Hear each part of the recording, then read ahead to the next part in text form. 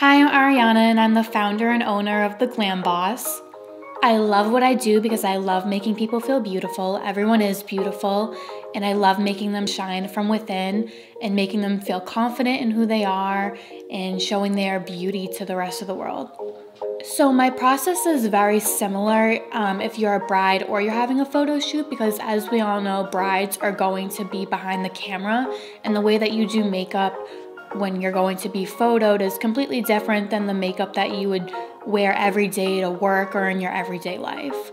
Everyone has different facial features, everyone has different skin tones, and you have to really take that into consideration when you have your makeup professionally done because you might idolize someone that you see on Instagram, but you might not have the same facial features as them or the same skin tone. So we have to be realistic with ourselves and realize we're all beautiful and we all can have our own features enhanced um, by certain techniques. And that's my specialty, and I understand how to make you look like your absolute best self. One of my biggest tips and tricks that I've learned being in the industry for so long is that when someone's going to be photoed, you do not want them to have any products that have SPF in it. SPF can be found in an array of different products. Typically, it's in your face creams, your sun lotions.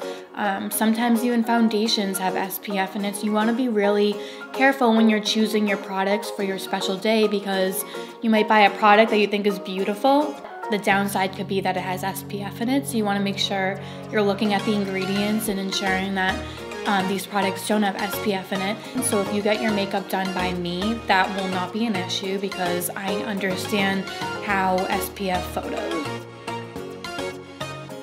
So you can find me on theglamboss.org, which is my company website where I show my services, my portfolio of all my work, and we're going to have a new feature soon where it shows all my pricing and you can book me online.